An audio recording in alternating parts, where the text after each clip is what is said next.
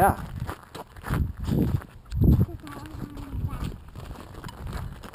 There we go.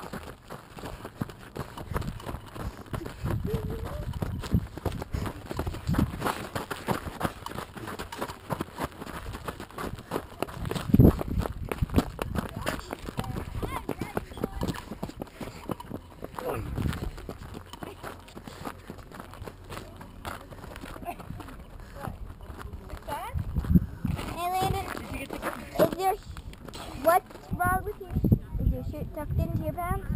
No. I think we're all good to go.